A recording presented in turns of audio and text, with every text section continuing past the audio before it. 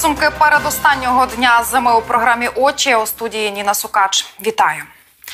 Третя штурмова повідомила, що вибила окупантів із Красногорівки на Донеччині. Євросоюз може скерувати доходи від заморожених російських активів на зброю для України. Це пропонує президентка Єврокомісії Урсула фон дер Ляєн.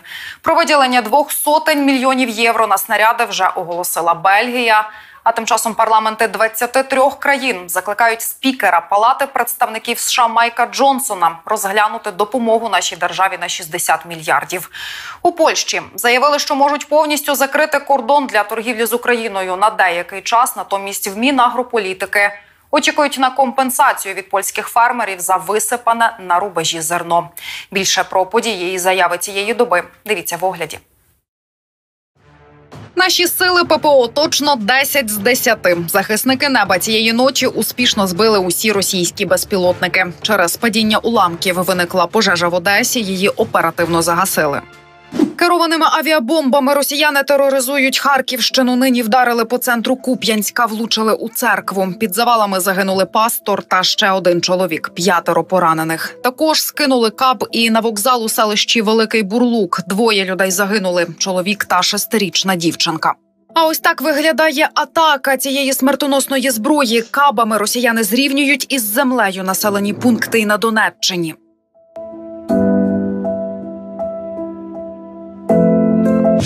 Хоче вмирати, руки вгору. Воїни 10-ї гірсько-штурмової бригади Едельвейс показали, як іще одного московита бере в полон їхній дрон. Вони бояться, Україна поверне усі території. Підписали відеозахисники. У мережі з'явились супутникові знімки з місця, де минулого тижня упав російський літак дальньої розвідки А 50 На фото видно сліди пожежі. Це вже друге таке судно, яке збили ЗСУ від початку року. Його вартість майже 350 мільйонів доларів. Зараз Московія втрачає літаки у 20 разів швидше ніж може їх замінити. Збройні сили мінусують їх залишками ракет до систем Петріот та Насамс. Пише видання Форбс. Служба безпеки затримала працівницю одного з технічних вишів на Харківщині, яка зливала окупантам дані про розміщення техніки і локації збройних сил. Жінка під вартою їй загрожує довічне. Ще на два місяці під вартою до 25 квітня залишили Ігоря Коломойського, але суд зменшив розмір застави. Нагадаю, його підозрюють у шахрайстві на мільярди гривень. Так звані депутати невизнаного Придністров'я звернулись до Росії по допомогу через буцімто економічний тиск Молдови. Про приєднання до Московії не просили. В уряді Молдови назвали заклики пропагандистськими. Володимир Зеленський з неоголошеним візитом прибув до Албанії і з тамтешнім прем'єром підписали договір про співробітництво між державами. Також президент узяв участь у саміті Україна Південно-Східна Європа. За його підсумками є домовленості про посилення нашої артилерії. Зеленський прокоментував і можливість відправки західних військ в Україну. Всі ідеї для нас цікаві, але передусім нам потрібна зброя. Нам потрібно вижити, а вижити для України це означає мати дуже конкретні рішення. Усі домовленості, контракти з допомоги, усе має надходити вчасно. Це основна ініціатива, яка повинна бути від всіх. Дайте нам вчасно. Нам треба бути сильними. У нас нема альтернативи, бо ми всі маємо справу з кілером. Для тих, хто показує зуби ворогу, уряд запустив пілотний проєкт для ветеранів. Учасники бойових дій зможуть безоплатно протезувати зуби, причому і у приватних клініках теж кошти компенсуватиме держава. Планують закласти 750 мільйонів гривень. Також українці можуть безкоштовно здавати аналізи у приватних лабораторіях за програмою медичних гарантій. Для цього обов'язково треба електронне скерування від сімейного лікаря. Щоправда, послуга доступна не всюди. Тож перед візитом поцікавтесь, чи у закладі уклали відповідну угоду з НСЗУ. Якщо здоровий дух, то витримає й тіло. Українські військові, зокрема поранені, уже у березні їдуть на змагання морпіхів і повітряних сил США у Лас-Вегасі. Наша збірна бере там участь уперше. Мотивацію бійці показали на відео. Швидкість реакції та сила м'язів, на простійкість духу і непереборну волю до життя. У профтехах семи областей України також і на Львівщині навчатимуть нової професії оператор цивільного дрона. Представництво ЄС закупило 28 безпілотників та організувало навчання для викладачів, які тепер передають ази роботи з пташками студентам. Рідкісних птахів з червоної книги помітили на Львівщині. Чорні лелеки звили гніздо на дубі, якому 350 років у Золочівському районі. Загалом цих бузьків в Україні чотири сотні пар. Як то кажуть, прилетів лелека весну приніс здалека.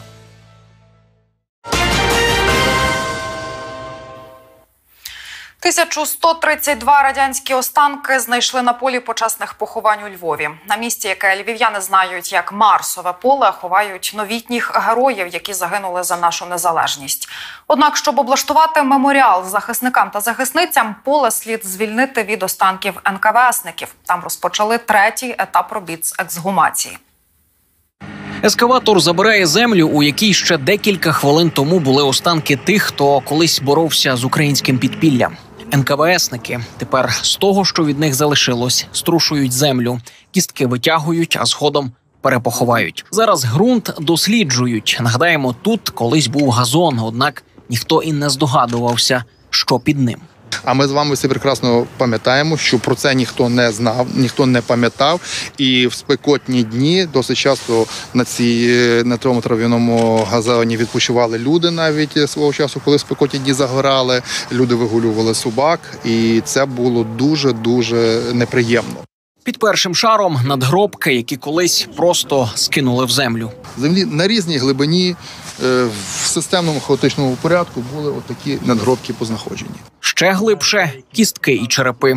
Чи проводитимуть ідентифікацію, щоб встановити особи? Якщо зголосяться родичі е, про те, щоб провести таку ідентифікацію, теоретично це можна зробити. Це є менш точний метод, але він також є е, можливий. Це є особисті речі загиблого, де може бути медальйон е, з ініціалами, з прізвищем, з якимись документами, з якимись особистими даними. Якщо дозволить погода та не дощитиме, то роботи планують завершити вже до кінця травня. Ми плануємо переприховувати на Голосківському кладовищі. Голосківське кладовище вже здійснює підготовчі роботи, і ми плануємо цього року все таки завершити а повністю всю процедуру і перепоховати останки, які ми тут е, ексгумували. Як виглядатиме меморіальний комплекс без радянського сліду, вже вирішують у міській раді. Свої заявки подали понад 50 архітекторів. А після 18 березня засідатиме журі, яке обере найкращий проєкт.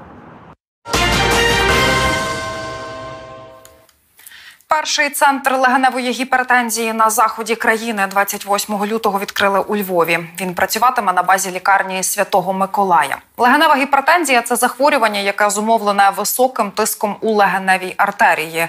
Унаслідок цього серцевий м'яз слабшає і втрачає здатність качати кров у потрібних обсягах. Нерідко у хворих розвивається серцева недостатність. Ця недуга рідкісна. Вона трапляється у шістьох дітей на мільйон. Богдану лише три роки, а він уже пережив три крововиливи у мозок, мав глухоту, а також хлопчику діагностували легеневу гіпертензію. Ніхто не мав права на чудо. Ну і ми почали працювати. В результаті наших трьох років боротьби в нього повністю відновився слух. Зараз він ходить, що нам мало говорили, що він буде ходити. Він бавиться, розвивається, він вміє складати пірамідки, починає щось балакати.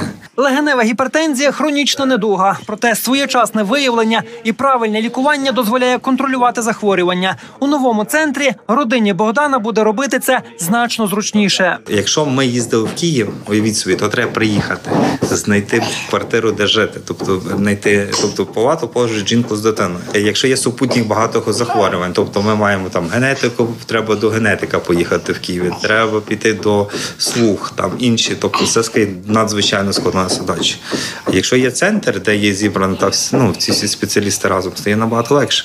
Ви приходите в одне приміщення, провели три години чотири, і ви є ніж тиждень чи місяць в чужій в чужому місці. Центр діятиме на базі відділення дитячої кардіохірургії лікарні Святого Миколая. Саме кардіологи працюють із такими пацієнтами. На жаль, і це є реальність. Більшість дітей з легеневою гіпертензією це діти, котрим було вчасно не діагностовано вроджену ваду серця. Діти не отримали хірургічне лікування цієї вади, і вона е, як наслідок призвела до таких часто непоправних ускладнень, як легенева гіпертензія. Окремого приміщення центр легеневої гіпертензії немає. Діткам за потреби ушпиталення, що трапляється рідко, бо вони зазвичай лікуються вдома, зможуть надати місце в палаті. Це дійсно е, певною мірою віртуальне утворення, але це буде такий своєрідний хаб для концентрації цих пацієнтів. Дефекти діагностики дефекти спостереження це одна з головних причин, чому такі пацієнти взагалі виникають. Додам, що 29 лютого відзначаємо день рідкісних захворювань, зокрема таких як легенева гіпертензія. Усього ж на Львівщині її діагностували 11 діткам, а в Україні виявили у 117. У Львові оголосили всеукраїнський архітектурний конкурс на відновлення музею Романа Шухевича. Нагадаємо, його знищили росіяни.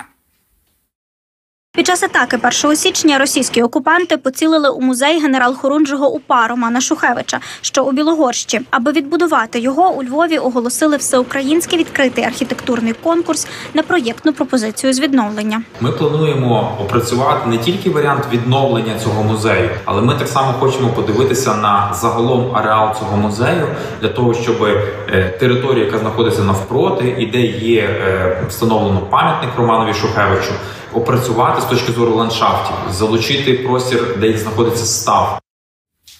Зареєструватися на участь усі охочі можуть до 25 березня, а надіслати роботи архітектори мають час до 5 травня. Готель, який торік збудували на площі Міцкевича у Львові, є незаконним. Таке рішення ухвалив Верховний суд. Постанова набирає законної сили. Здати її прийняття є остаточною і оскарженню не підлягає. У Верховному суді стали на захист об'єктів культурної спадщини Львова. Суд скасував рішення Львівської міської ради про надання дозволу будувати готель на площі Міцкевича. Містобудівні умови та обмеження, як і рішення про їхнє затвердження, є незаконними. Таке рішення судді прийняли, оскільки ця територія належить до історичного ареалу міста та є частиною об'єкта всесвітньої спадщини ЮНЕСКО. Натомість наголошують у Верховному суді, органи місцевого самоврядування зобов'язані враховувати фактичний правовий статус земельних ділянок під час розгляду питань надання дозволів на забудову. У цьому випадку Львівська міська рада проігнорувала статус площі Міцкевича як складової об'єкта всесвітньої спадщини. У справі встановлено, що виконавчий комітет Львівської міської ради, приймаючи оскаржене рішення про надання містобудівних умов та обмежень забудови земельної ділянки, не врахував фактичного правового статусу об'єкта всесвітньої спадщини Львів ансамбль історичного центру. Який внесено до списку всесвітньої спадщини ЮНЕСКО і є пам'яткою культурної спадщини національного значення, не взяв до уваги визначеної за законом категорії земельної ділянки, розташованої під таким об'єктом культурної спадщини. Виду її використання дозволеного законодавством чинним станом на момент виникнення спірних правовідносин Верховний суд України. Еліна Світоліна та Сергій Стаховський з тенісним майстер-класом у Львові. Еліна бронзова призерка Олімпіади, 17-та у світовому рейтингу. Сергій екс перша ракетка України. Спортивну кар'єру вже завершив. Зараз служить у війську. Кожен вболівальник пам'ятає, як у 2013-му він ефектно переміг Роджера Федерера. Як минув майстер-клас від зірок тенісу, розкаже Алла Васьковська. Реєстрацію на майстер-клас Еліни Світоліної та Сергія Стаховського завершили достроково, адже назбирали максимальну кількість охочих 370 дітей. З 9 до 14 Аліна та Сергій щогодини займались з іншою віковою групою. Почали з найстарших віком 14-16 років і завершували найменшими шестирічками. Дуже багато дітей, навіть більше ніж у Києві, коли були там. Я е, майже 15 років не була у Львові, декілька разів тут грала е, і не вигравала. Я не знаю чому, але Львів для мене якось е, не дуже був е, з приводу результатів. Але я думаю, що цей захід, що ми тут робимо, це перемога. Це вже наша перемога. На одному корті з дітьми займається Еліна, на іншому Сергій. Потім міняються. Спершу просто тренують подачі, потім дають завдання. Давай ще раз, ще раз, ще раз, спочатку. Є. Це бейсбол! Мали грати на них, а потім забивати. Було не дуже складно, а все мені сподобалось е, грати з саме ну, більше всього грати з ними. Дуже шкода, що дуже мало часу, тому що, звісно, всі вони хочуть більше. У нас просто ну, немає фізично такої можливості, тому, звісно, воно все дуже швидко йде, але хоч щось ми намагаємося їм дати, якусь емоцію, щоб вони продовжили свою кар'єру. Година майстер-класу минає швидко, і всі вже шикуються для спільного фото. А після спільної світлини кожен хоче мати ще й селфі та автограф Аліни з Сергієм. Це була моя мрія підписати автограф і сфоткатись. Оце е, автограф е, з Стаховського, а це з Еліни Світоліни.